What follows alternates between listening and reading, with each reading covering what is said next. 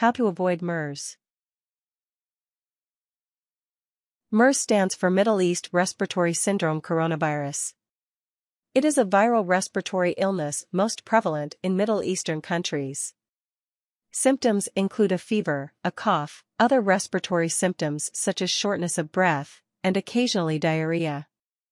Respiratory symptoms can be so severe that the patient may require mechanical intubation.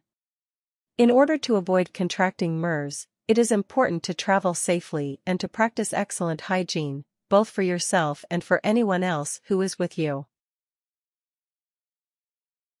Method 1 Taking Precautions 1. Be careful traveling to areas where MERS is prevalent. Countries that have had higher rates of MERS include Jordan, Oman, Saudi Arabia, Kuwait, Yemen, Lebanon, Qatar, the United Arab Emirates, and Iran. If you live in one of these areas, you will inherently be at higher risk, however, if you live elsewhere and can avoid traveling to these places, you will diminish your risk and hopefully avoid contracting MERS. Cases have also been reported in the following countries, in people who traveled to high-risk areas in the Middle East Algeria, Austria, Thailand, South Korea, China, Egypt, France, Germany, Greece, Turkey, Hong Kong, Italy, Malaysia, the Netherlands, the Philippines, Tunisia, the United Kingdom, and the United States. If you are in a high-risk area in the Middle East, avoid contact with camels as they may also transmit the disease, transmission from camels to humans is possible. This includes avoiding eating camel meat or consuming camel urine, which is considered a medicinal practice in certain areas of the world. There are currently no travel restrictions to Middle Eastern countries where MERS is more prevalent, however, if you do travel there, practicing good hygiene and reporting any possible symptoms of MERS to a physician is important. 2. Wash your hands regularly. This is a general, hygienic precaution that should especially be followed by anyone visiting farms, markets, barns, or places where animals are present. Wash your hands before and after touching animals and do not touch any sick animals. Wash your hands with warm water and soap for at least 20 to 30 seconds. Be sure to scrub the full surface area of your hand, including between your fingers. If warm water and soap are not readily available for you during the day, another option is to carry an alcohol-based sanitizer in your pocket or in your purse. While hand washing should always be practiced, it is important to note that MERS is spread by a respiratory droplet, as from someone coughing. It is highly unlikely you would catch MERS from touching a contaminated object, but rather from being in direct contact with fluids from an infected person. 3. Refrain from touching your face. One of the fastest way to pick up a bug and catch a virus, such as MERS, is to touch your hands to your face, including your eyes, your nose, and, or your mouth, after it has been in contact with the bodily fluids of a sick person. If you have been in contact with a sick person who coughed or sneezed on you and got a droplet on your hand, then putting your hands to your face can transfers the germs and increases your chances of catching the infection. Method 2 Safely caring for an infected person. 1. Avoid close personal contact.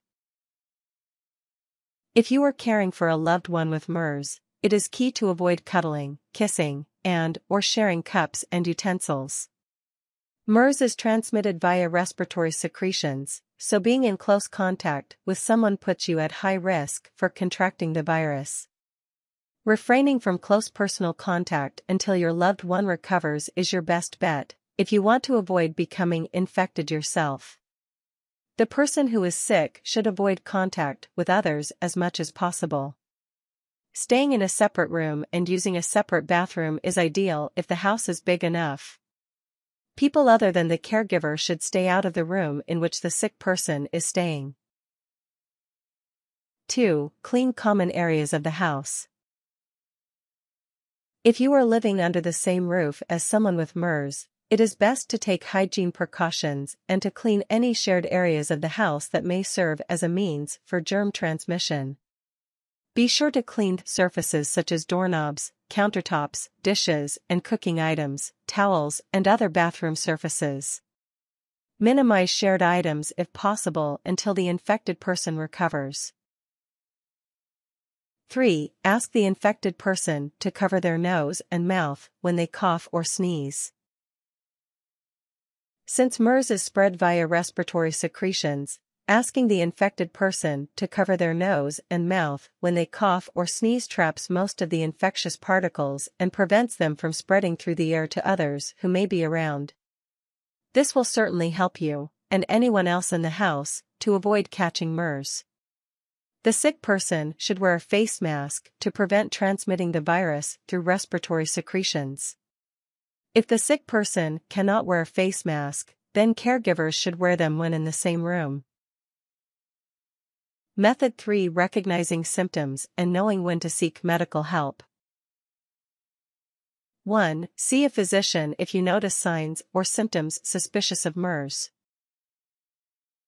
If you have recently been in an area where the MERS virus is prevalent, one of the Middle Eastern countries listed above, or if you have been in close contact caring for an affected individual, you will want to monitor yourself for any signs or symptoms that may be suspicious of MERS.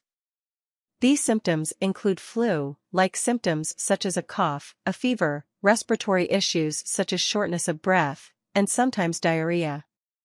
Most people develop symptoms of MERS 5 or 6 days after exposure to the virus, but can range from 2 to 14 days. 2. Use extra caution if you have other medical conditions. It is especially important to see your doctor if you have symptoms suspicious of MERS alongside other chronic medical conditions, such as diabetes, kidney disease, heart disease, or ongoing respiratory disease. This is because your risk of contracting MERS is higher when you have these conditions. In addition, if you have an underlying medical condition and contract MERS, the disease is more likely to be fatal. 3. Call your doctor ahead of time to let them know that you are worried you may have MERS. This way, your doctor can arrange to see you separately from other patients so that you do not risk passing the infection on to others. MERS is an infection that is being tracked by public health so, if you are diagnosed with it, it needs to be reported.